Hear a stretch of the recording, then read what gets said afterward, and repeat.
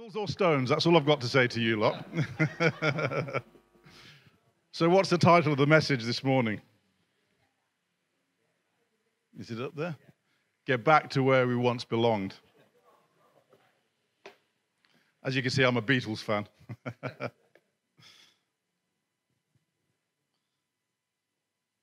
me just get my. So I can keep with you. Yeah, get back to where we once belonged. If you would just turn in your Bibles with me to Genesis 2, verses 5 to 25, I'm going to read through that scripture. At the time, God made earth and heaven before any grasses or shrubs had sprouted from the ground. God hadn't yet sent rain on earth, nor was there anyone around to work the ground. In fact, the whole earth was watered by underground springs.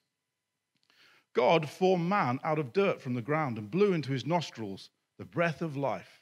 The man came alive, a living soul. Then God planted a garden in Eden, in the east. He put the man he had just made in it. God made all kinds of trees grow from the ground, trees beautiful to look at and good to eat. The tree of life was in the middle of the garden, also the tree of knowledge of good and evil. A river flows out of Eden to water the garden, and from there divides into four rivers. The first is named Pishon. It flows through Havilah, where there is gold. The gold of this land is good. The land is also known for a sweet scented resin and the onyx stone. The second river is named Gihon. It flows through the land of Cush. The third river is named Hiddekel and flows east of Assyria. The fourth river is the Euphrates. God took the man and set him down in the Garden of Eden to work the ground and keep it in order. God commanded the man, You can eat from any tree in the garden except from the tree of knowledge of good and evil. Don't eat from it. The moment you eat from that tree, you're dead. God said, It's not good for the man to be alone. I'll make him a helper, a companion. So God formed from the dirt of the ground all the animals of the field and all the birds of the air. He brought them to the man to see what he would name them.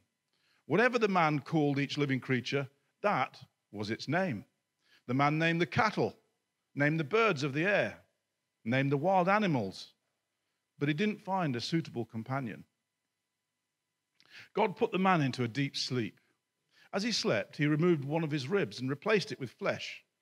God then used the rib that he had taken from the man to make woman and presented her to the man. The man said, Finally, bone of my bone, flesh of my flesh. Name her woman, for she was made from man. Therefore, a man leaves his father and mother and embraces his wife. They become one flesh. The two of them, the man and his wife, were naked, but they felt no shame. That's kind of a nice picture to me one of the very first scriptures in the Bible, right at the beginning of the Bible. God has already made the heavens and the earth. And then he makes this garden, the Garden of Eden. And the description there seems to me really rather perfect. It seems fantastic. It seems like a place that might be really quite nice to go to. This morning, um, when we were worshipping, it was quite emotional. Did you feel the emotion behind that? And actually, when Gary got up, he used that word. And that's exactly the word that was on my mind. I was thinking, wow, this is really quite deep. This is emotional. And I think this morning, the subject, the firm foundation subject that we're going to talk about is lordship. Uh, and so I was beginning to think, wow, God, you know, this worship time that we're having together here, that's really powerful. It's really deep. It's emotional. It's about, you know, how you can, you provide everything. You are good. You want good things for us. Uh, and I knew the subject that I was going to talk about. And I think it's kind of interesting how the two things are going to link together. Because a lot of the feelings I had this morning were, I think, you know, the kind of feelings, let's call them Garden of Eden feelings, where you just feel great. You don't always know, you know, you can't always explain what it is, but you know, you feel the presence of God in you as you're worshiping. And we're going to talk a little bit about kind of the head knowledge behind how God works in our heart. So we're going to talk about lordship. So, lordship. There's three points that I'm going to bring to you. What is it? Why is it important? And how do we observe it? So, have we got to, let's go to the next slide if we can. One further on. So, you can't see that very clearly, but I looked, actually, we've all got two, most people have, or pretty much everybody has, two fathers Father in heaven. They may not realize he's their Father in heaven, but he is there, and your Father on earth. I'm quite unusual because I can actually call both of my fathers Lord. my father actually is a Lord, uh, as it happens. So I looked on the internet and I wondered how much it cost to, to become a Lord. And do you know you can actually buy lordship? It's actually true. Or ladyship, you can even buy that. It, apparently, it costs $24.95 to become a lord. I never told my dad that. I think. and it costs $24.95 to become a lady. So we've got gender equality in lordship as well, apparently. But even better than that, if you buy the two together, it's $36.95, so you get a deal. so is that lordship? Well, maybe not, I don't know. also, lordship, this idea of lordship, there's, that great um, trilogy of films, wasn't there? By Tolkien. The films weren't by Tolkien, but the book was by Tolkien, The Lord of the Rings. Who, who watched The Lord of the Rings? Yeah, I love the Lord of the Rings. It was just fantastic. Shot in New Zealand. You know, the, the scenery was amazing. The characters are really incredible. It's, it's kind of two and a half or three hours of just you're able to go to the movies and transport yourself into a, another existence, aren't you, basically? And that's what I loved about Lord of the Rings. But of course, if your impression about lordship is from Lord of the Rings, it's about fighting, it's about trying to gain power, it's about good versus evil, it's about all of those things. But uh, there are so many different characters involved there. Some are flawed, some are, well, they're all flawed, really. Some are um, it, nice and easy to get along with, others not so easy to get along with. Is that our version of lordship? Well, maybe there's a little bit in that. That's kind of an earthly version, if you like, or, or a, you know, how we've imagined uh, lordship could be. Is Lord of the Rings it? Mm, maybe not. The kind of lordship that we're going to talk about this morning is the lordship of God, lordship that exists in heaven. And actually, there's a book in the Bible that um, is a very complicated book, uh, or at first, when you first read it, it seems to be very complicated. And I'm going to try and do a difficult thing, and in about five or ten minutes, just kind of give you a synopsis of this book. This book is one of my favorite books, actually. Um, I've been reading through the Bible every year for the last two or three years, and every time I come to this book, I actually start to feel a bit excited about it because you can get something new from it every time. So it is the book of Job. Now, Job, let me tell you the story of Job and how, how this works out. Job is actually not, he was not Jewish, uh, he was not from Israel at all. But God said of Job, he, he was a wealthy man and he had uh, many cattle and sheep and, you know, uh, big family. He was somebody who was seen around town as a blessed person, someone who was really a good person as well. And God said about Job, Look at my servant Job. Look how good he is. And um, as the story goes in, in the Bible, Satan said to him, by the way, I learned um, uh, this week that the word Satan in, in um, Hebrew is the accuser. That's what it means. That's how the word works. So the accuser. Okay? So the accuser came to God and said, Well, hold on a second, God. You say this man Job is a really good man, but that's because you protect him. Of course, he's good. It's easy to be good when everything's going nice and when everything's going well. You let me give him a little bit of hardship, then you watch. He'll soon change his tune, he'll change his mind. So God says, and this is where, you know, if you're in a movie, it'd be dun dun dun. God says, Okay, I'll let you do that. Hold on a minute. What did I just say there? God said, Yes, you can have your way with my servant Job. That doesn't sound like the God that I serve. That doesn't sound necessarily like the God that we were singing about, does it? It's a bit confusing, that. But that's what God said. Now, that seems unjust. And in actual fact, the book never really answers the question of why God allowed the devil, Satan, to basically get stuck into Job? It never really answers that question. But the book begins to answer something that is perhaps far more important and far more profound. So that's what that Satan does. Uh, very quickly, he loses, Job loses all his possessions. He loses some of his family members. He breaks out in rashes.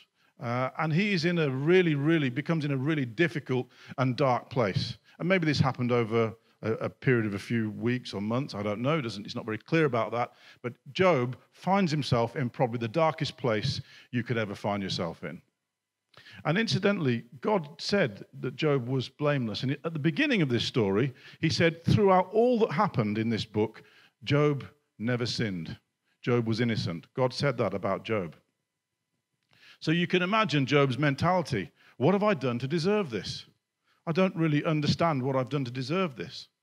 And so along come three, they're called Job's comforters. Uh, and he asks, Job says to his, they're his friends, he says to them, Can you help me? What, what has happened? Why has this happened? And so they make a really important assumption. And it's an assumption probably every one of us has made in this room, too. Because often when I read Job, I read what the comforters say, and I know that they're, they're kind of the villains in a sense, but I, I read their opinions and I think, oh, I could have said that. That sounds a bit like maybe what I would have advised Job if I was there. And the comforters make this assumption. They assume that God is just, and therefore, if something that is happening to you is not just, you must have done something to deserve it. That's basically what they say. And so Job goes through, there's many chapters uh, of this where they're talking to him and he's giving a defense for himself to say, But I'm innocent. I have done nothing wrong. I am innocent. And we know he's innocent because God already told us in the book he is innocent. So the comforters, they really brought a whole lot of confusion into the situation because they made this assumption that because God is just, if bad things happen to us, then it must be our fault. And that wasn't correct. There was a fourth comforter, a younger man actually. Um, these comforters, they represent really Eastern wisdom uh, at the time.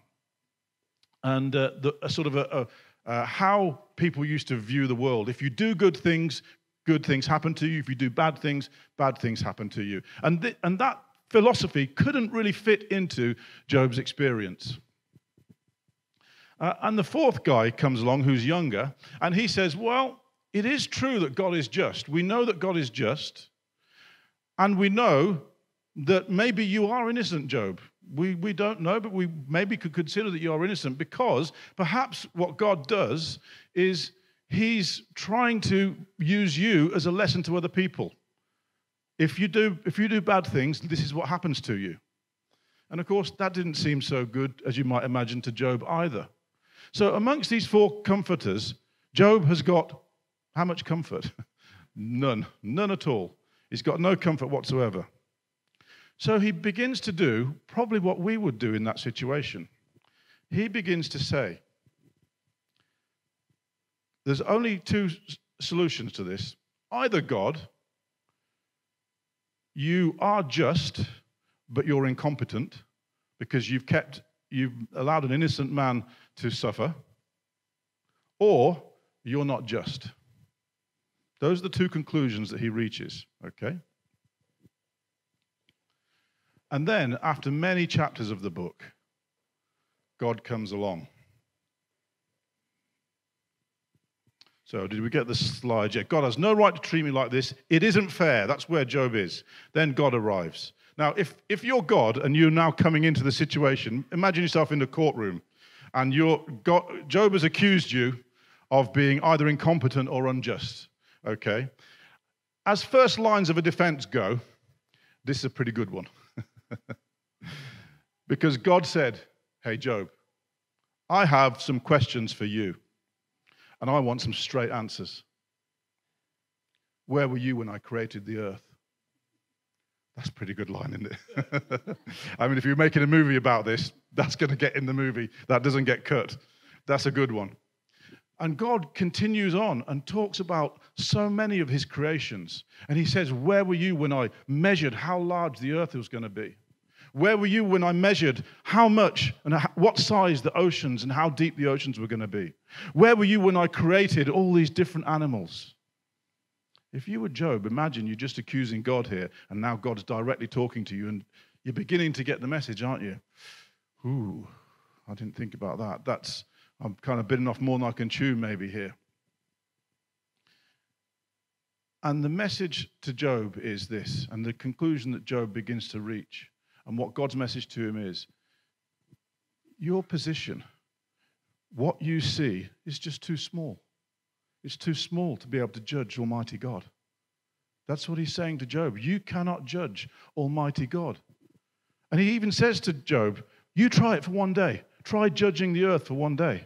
And Job begins to think about this and think, Well, actually, it's a bit more complicated than I might have imagined. Who's right and who's wrong? Uh, you know, so many different complex and complicated situations.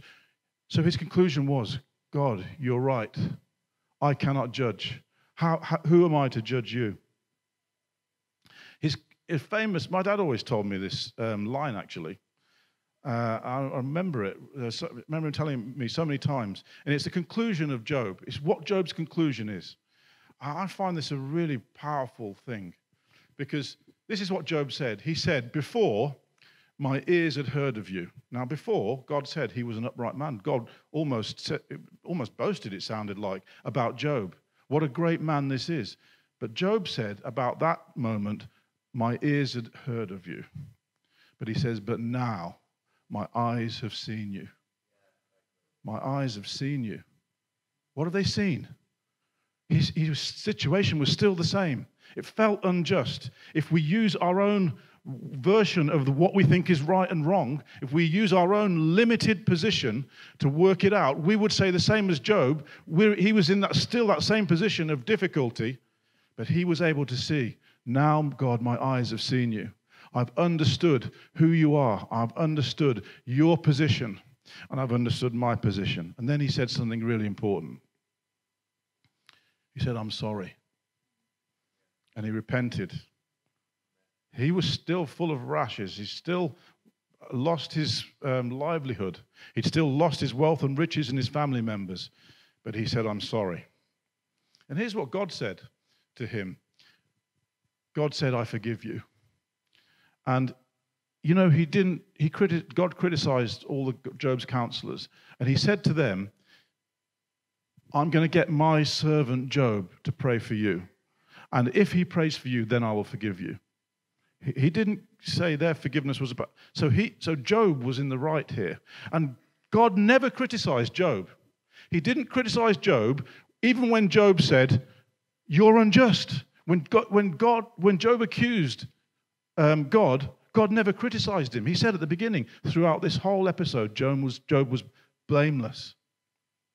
So, you know, when we're going through challenges, God doesn't, um, He understands when we question. He's a big God. He knows, He understands our position much better than we understand it. And when we get on our knees and say, God, I don't know why that's happened, I cannot understand this. I cannot understand the way I'm being treated or the situation that I find myself in. I can tell you God understands, and He doesn't mind us questioning Him. It's really, really important that. And that story about Job, do you know what that's about? It's about lordship. Lordship is accepting authority even when it hurts and when you don't understand it. That's what lordship is. You know, you can say, I'm accepting authority. I know that in church we have this thing about having accountable relationships with each other, okay? And we, you get these accountability groups, not knocking that at all, that's a wonderful thing. But uh, accountability, very often, let me just be a little bit cheeky, very often we see accountability as I'm in an accountability relationship with somebody until it is that they tell me something I don't want to hear. Then they've got to be accountable to me because I'm going to tell them they're wrong. That's kind of our version of accountability, right? That isn't lordship. That's not lordship, I can tell you. And that and the same thing happens with God. We can say, "Hey, this is what God says," or "That's what God says," but God says what God says.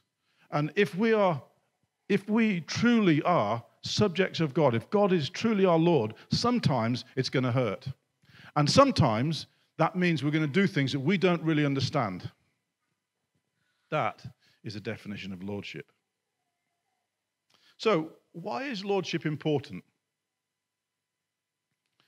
we've got that picture up. Let's, can you get the picture? Yeah, there we go. Anyone recognize that? It's a bit hard to see it on the screen. Do you recognize that? Ah, who said Monet? Yes, Monet. It's not the painting. That is a garden in France, I think it's in northern France, that famously Monet painted.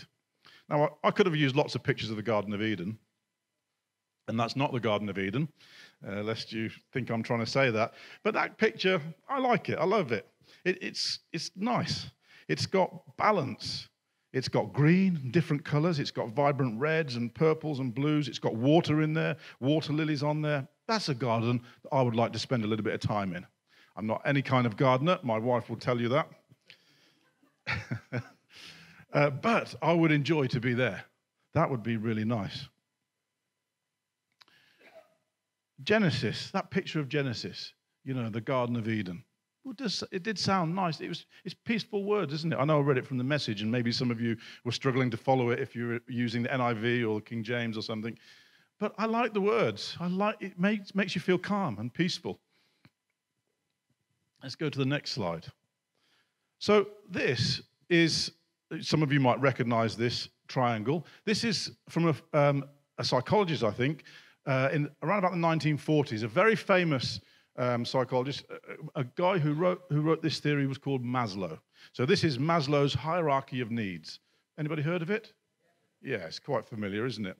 I don't know if he was a Christian, but actually, I think he, he was interpreting and understanding something about us that God laid down from the very foundations of the earth. Okay?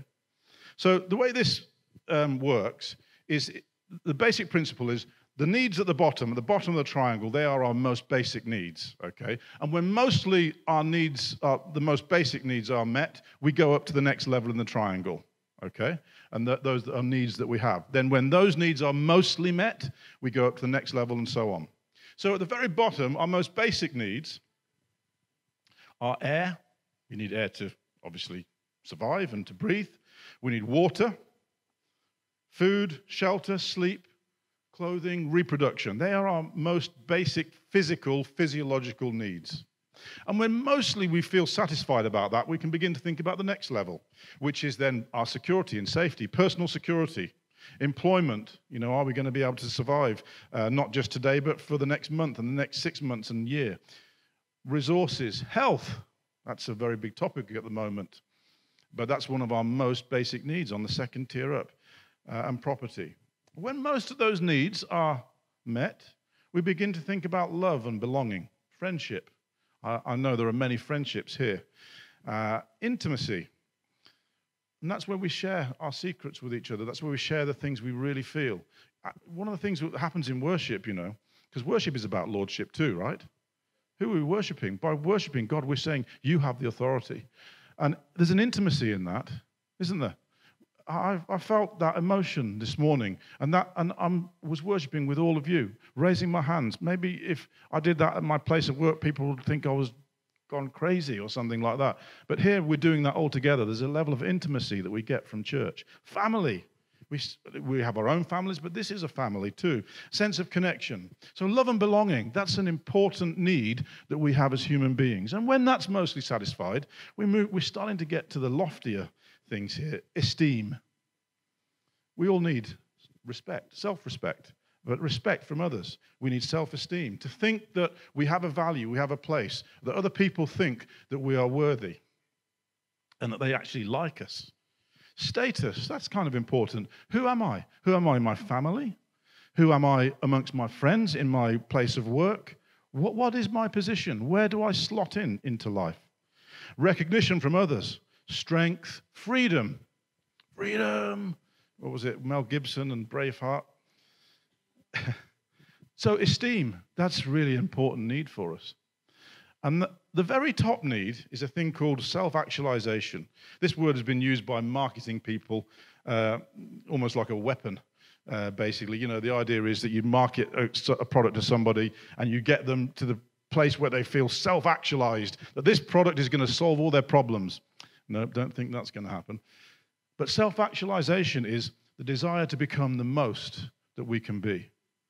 Okay? So each level of need, when you basically satisfy the first one, you reach this point of self actualization where we become the most we can be.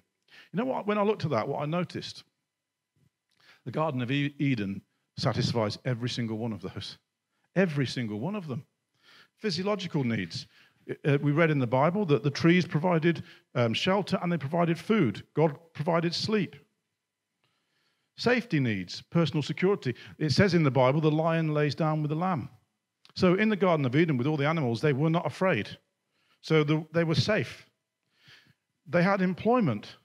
God, God gave them, He said, you know, man needed to work the land and to keep the garden. So he had security. There was love and belonging.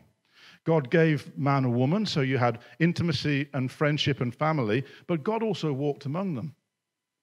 So there was that sense of connection to God, love and belonging, esteem. God said, I make these wonderful animals.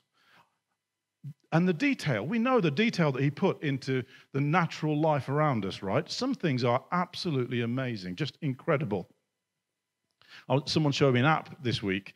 Um, it was to do with scuba diving, actually, because I quite like scuba diving. And you ever seen the Attenborough program about the emperor penguins? Well, this app showed the depth of the ocean, okay, and, and which fish you'd find at different levels in the ocean. Now, to give you an example, if as a sort of amateur scuba diver, if you're diving deep, you're getting to 40, about 40 meters, is about as deep as you can go really safely on oxygen. Then you have to start using other mixes of uh, in nitrogen and this type of thing. So 40 meters, and at 40 meters, you can you don't actually feel the pressure, but you know everything is much more intense. The air you, that you're using in your tank goes much more quickly. An emperor penguin can dive to 500 meters. The pressure, I mean, he, he, that's a land living animal. He can't breathe underwater, okay? But he can dive to 500 meters. The, the deepest animals are something like about eight kilometers deep. I mean, the, that is just to me, who understands a little bit about pressure of water and scuba diving, that is mind boggling. So God put so much energy and, and attention to detail in these animals, but who did he give to name them? He said, The man is going to name them. That's a privilege. What a privilege God gave to us. And that gave us self respect, self esteem. It gave us status and recognition in front of God, our Creator. Isn't that amazing? And that was in the Garden of Eden. And the desire to become the most that we can be, this self actualization, we hit it. It was perfect. That, the, you read through the Garden of Eden and it's, it was peaceful. In fact, the next slide is a quote, because I wanted to understand a bit about this. Albert Einstein said, God reveals himself in the orderly harmony of what exists. And it's that word harmony that I thought was really important. That's what I sensed and picked up from the Garden of Eden. It was harmony. And you can see because all of our needs were met and we were the most that we could be. How were we the most that we could be? Because we were in perfect union with God and we understood his lordship. Remember, he, he said um, to Adam and Eve, he said, Don't eat from the tree of good and evil. So he'd laid down an instruction, and to begin with, they obeyed. And God communed with them and conversed with them. Everything. That is a picture of wonderful harmony.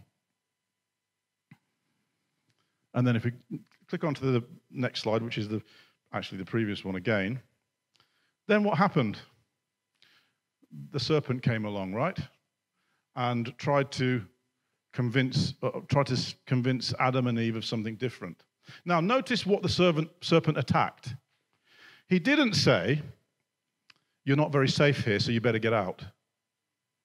He didn't say, Well, you know, the resources of the Garden of Eden, they're going to dry up, aren't they? So, you know, you better go somewhere else to try to find some more resources. He didn't say, You don't have the, the love and friendship uh, amongst yourselves and with God. He didn't say that. He didn't say, You're not respected either. He didn't say that. What did he say? He said, God has told you not to eat from the tree of good and evil because he knows that you can be more than you are. That's what he said. That's what the serpent said. He said, He's trying to keep you down. God is trying to make you less than you are. So the serpent appealed to the very top on this triangle, on this theory. He said, You can be more. And guess what? We believed it. We said, You know what? I think he might be right. We can be more. Why does God, who comes here every day to talk with us, why does he tell us not to eat from that tree?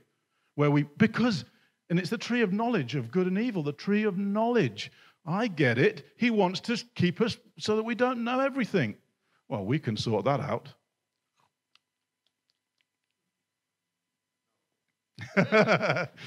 it would have been nice if it was a juicy red apple. I actually was imagining it in my mind, I have to say.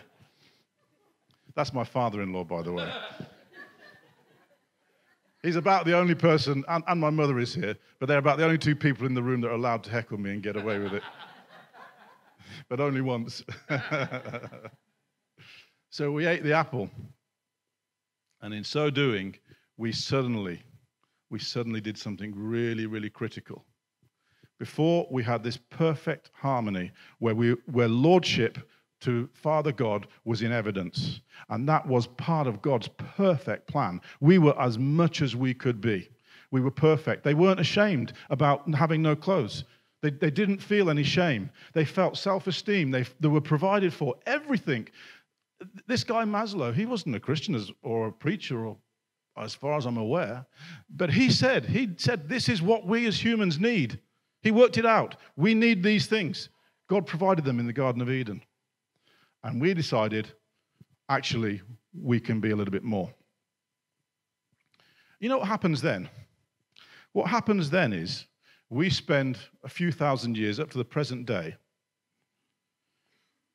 trying to solve everything, trying to solve all these other things. Think of all the causes that we have. We have to be really clear about what I'm saying now, okay?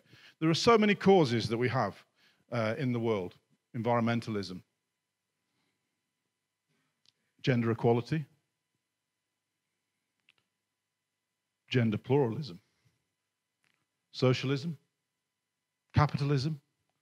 There's a lot of isms. What are they trying to do? What they're trying to do is they are trying to recover the position that we had previously. They're trying to get back to harmony in the world. That's what they're doing. We're, they're trying to find that harmony that once existed. We said, get back to where we once belonged. We belonged in the Garden of Eden in perfect harmony and the lordship with God. And we, because we failed at that, we're trying to solve the problem ourselves. Now, I am not criticizing those um, you know, if, if, you, if you feel very strongly about the environment, I'm not criticizing that. If you feel strongly about socialism or capitalism or whatever political persuasion, I'm not criticizing that. But what I am saying is be careful because following that with your life is not going to get us back to what we really crave. That's not going to get us back to what we really crave. And you can have opinions one way or the other. I'm not going to comment on those, okay? But that is not the solution. That is not the solution. Rick Warren, oh, I did a little slide about world peace. Go on, let's have a look at that. World peace? Mm, I'm not so sure. I'm not so sure about that. We already had world peace in the Garden of Eden. Rick Warren said something, and uh, this statement, when you first read it, it seems kind of a little bit, um, what's the word, trite almost. Um, but when you analyze it, there's real wisdom in this statement. So he said, Without God, life has no purpose. Well, actually, that makes logical sense. Because without, if there is no God, then we're here by accident. It just is a happy accident, right? So it does, we have no purpose. What does it matter if I'm good, a good person or a bad person? One day I won't be here, and all the people I've been bad to won't be here either. Nobody will remember that. What does it matter? There's no purpose to it. Without purpose, life has no meaning. Well, there's no purpose. So if I do well or don't do well, it doesn't matter. It doesn't mean anything. Without meaning, life has no significance or hope. Oh, those are not very nice words, are they? I mean, you compare that to what I read earlier from Genesis about, how, you know, the vision of the Garden of Eden. But this is without God. And I can't find, if you try to look at, if you try to think about this statement um, intellectually, I can't find any fault in that. It, uh, it makes logical sense. And I think even people who don't believe God in some ways will say, actually, there is no purpose. That's really what they're trying to say. You know, we're here just by accident. Without God, life has no purpose. So, why is lordship important? If you want purpose, if you want peace, if you want harmony, there's only one way to get that, and it's to acknowledge the lordship of Father God, Lord Jesus Christ, and the Holy Spirit in our lives. Last point.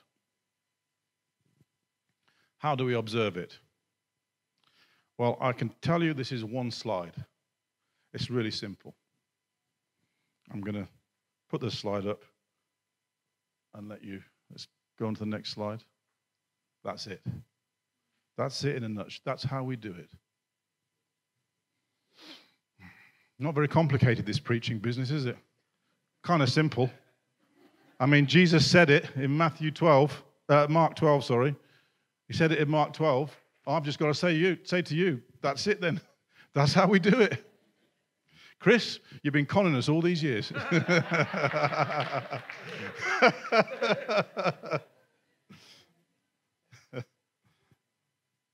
Where's Scott? Do you want to just come and yeah, just play a few things because I want to.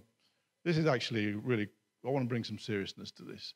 That's what Jesus said. He was asked by the scholars. You know, if, if you ever read through the Gospels, Jesus was amazing. I mean, I know he was the Son of God, and so you might think he had a few advantages. Um, he was the Son of God, and he was crucified, and we, we focus on that. But look at the things that he said. My word, the wisdom. The wisdom was just absolutely incredible. You know, I love um, the wisdom about the tribute, the story of the tribute. And uh, the, the religion scholar said to him, Who should we give uh, taxes to? Should we pay tax, you know, give unto God or pay taxes to Caesar? And he knew it was a trap.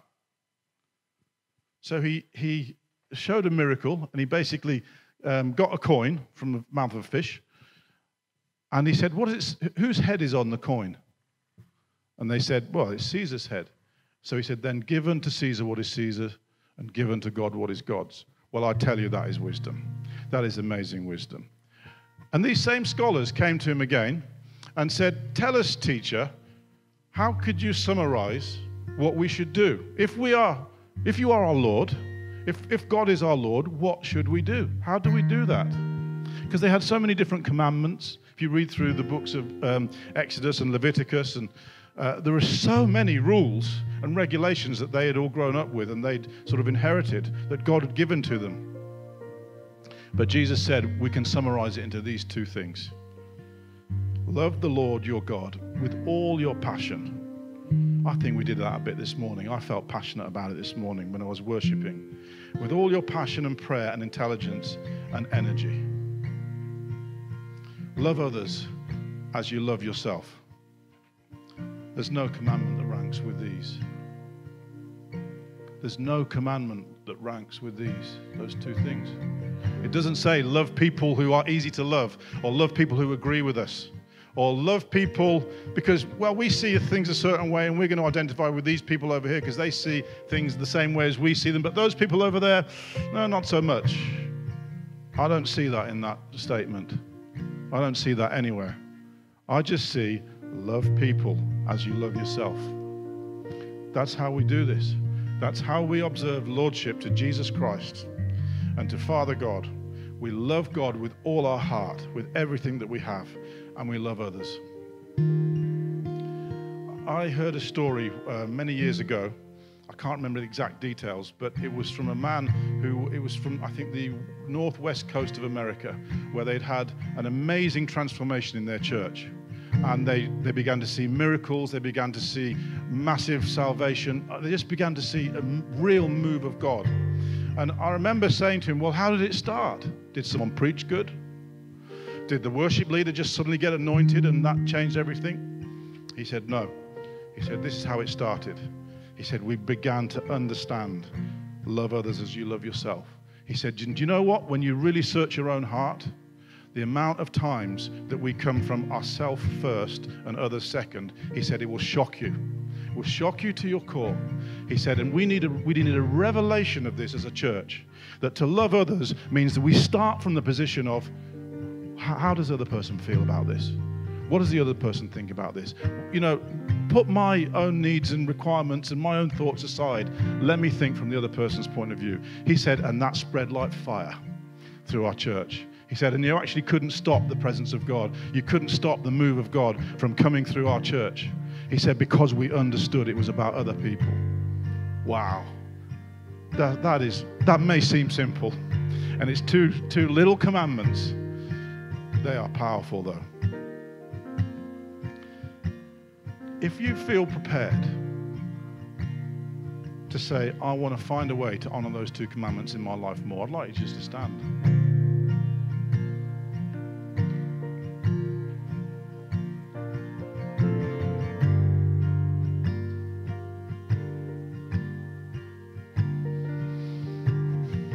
I know the presence of God is in this uh, room because I felt it earlier when we worshipped, and it's still here. I feel the presence of God. if as you're sitting standing there that you feel the presence of God, what I'd like to just conclude this really is I'd like two people to come and pray. One to pray the first part over us, that we'll find ways to love God with all our passion and prayer and intelligence and all of our energy. And a second person to come and pray over us that we'll all find a way to love each other better than we've loved before, to think of others before we think of ourselves to get rid of self. So when I ask um, for those two people, if you feel something in your spirit rising up in your spirit, you feel it like an anointing on you. It's almost like an excitement that's inside of you to think, I really got to pray for this. I really want to bring something here over the whole church. That's what I'm looking for. Just one person from each of them. But I want somebody who feels the anointing of God on them to come and pray and declare this over the church. So, would someone who wants to come pray for us to be able to love God with all our passion and heart and intelligence more? Would you just come to the front, just one person who wants to pray over the microphone that and seal that over the whole church?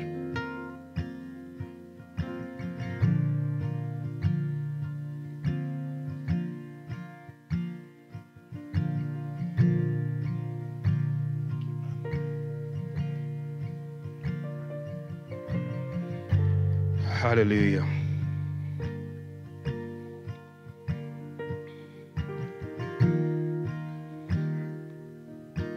Mighty God, Heavenly Father, the beginning and the end, God who is all knowing, all seeing knows everything about us, every single person, every single heartbeat in this room, God, you formed when we was all in our mother's womb. God, you so loved the world that you gave your only Son, that he or she who believes in Jesus Christ shall not perish but have everlasting life. A love so great. And this commandment says that we love you, God, with all our hearts, prayer, passion, and intelligence. And I pray for everybody in this room today, God, that you give us a revelation of how to do that. As we dig into your word, as we hear your voice, as we tune into your spirit, God, that you allow us to love you the way you ought to be loved. That's with all our hearts, God. Without our heart, Lord God, we're dead. We can't function. And you want us to love us with all of it. You've made us with intelligence, God. That we can do things from our jobs to the way we love our families. The way man can create, God, is in your image. So, with all our intelligence, allow us to comprehend how to love you as well, God. Passion is something that you have given and blessed us all with, God whether it lies dormant, whether it's active. Lord, I pray that those dormant spirits that have allowed us to stay dormant, God, that you just raise up the passion in all of us right now, God. That passion, mighty God, that gets us up in the midnight hour. That passion, Heavenly Father, that makes demons flee. That passion, Heavenly Father, God, that allows us to rise up no matter what we're going through, God. That that passion, God, will us and connect us so strongly to you, God, that miracles will happen, God. When we love you with all our heart, when we love you with all our intelligence, when we love you with all our passion, God, miracles happen. And I pray right now, Jesus Christ, that we can do that and access your throne, God. So, Lord, ignite our spirits to do that, God, and bless us so we can be a blessing to others. In Jesus' mighty name, I pray. Amen.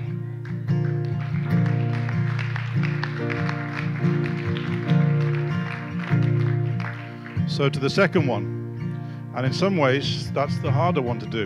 It's quite easy to love a God who's perfect and we know loves us. Not so easy to love people who are not perfect and may not love us in the same way.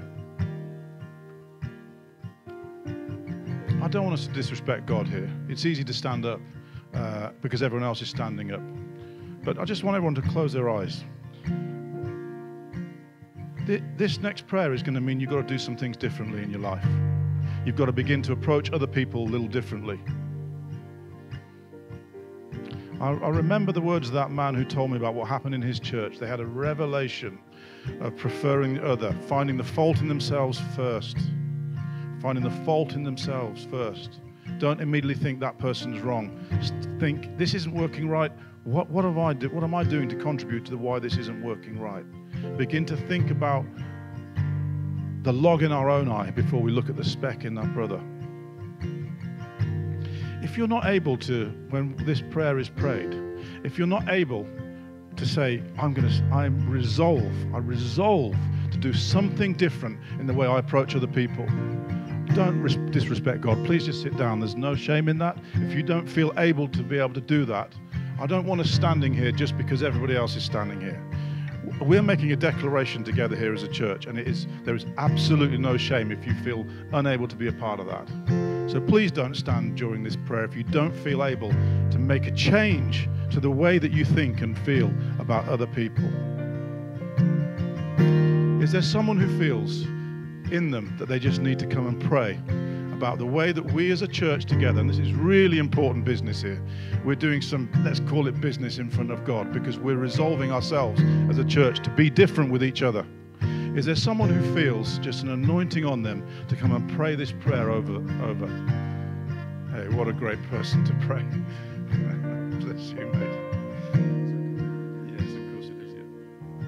Yeah. Father, I want to bless you this morning. We thank you for your word that came with power. We thank you for the revelation that comes through the teaching of your word. And Father, I want to thank you because you are love personified. Your word says God is love. And that same love you have shed abroad in our heart by the Holy Ghost. For your word says that same love is, is being poured out in our heart. Every single one of us, we have a measure of that love. But one thing we want to ask for this morning, that you help us by grace perfect that same love in our heart. In the mighty name of Jesus. And Lord God, this morning, because we know what your love is, your love is patient. Lord, help us to be patient with ourselves, to be patient with our neighbors. In the mighty name of Jesus. We also know that your love is kind. Lord, from this house, as we relate with ourselves, let kindness be the order of the day as we relate with ourselves in Jesus' name. Your love is also does not envy. And Lord, we pray that God, you perfect that love, that God will not be envious of ourselves. In the name of Jesus. It also says the love of God is not boastful. Lord, we pray that that grace not to be boastful. Lord, in our relationship, give to us in the name of Jesus. We also pray that you perfect such love that God will not be proud. In the name of Jesus. And Father, we also pray according to your love, that your love does not dishonor others. Lord, we pray that God, you perfect this kind of love in our heart, that we learn to honor ourselves and not dishonor ourselves in Jesus' name. Your word also said, God kind of love is not self seeking.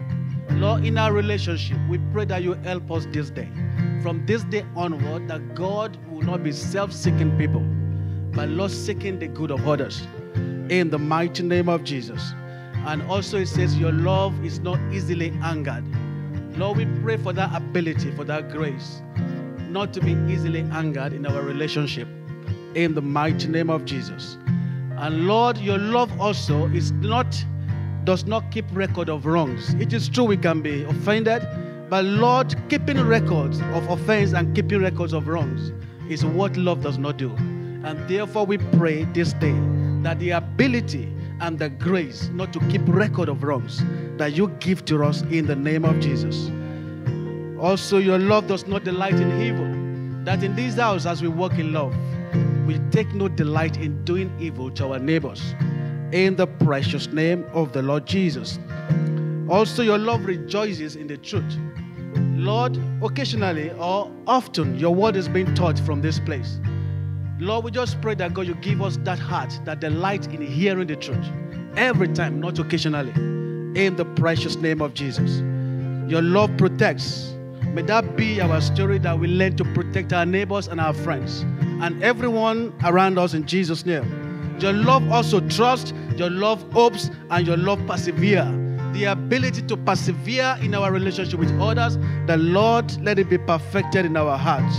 And lastly, love does not fail. And so that is our story from this day onward in Jesus' name.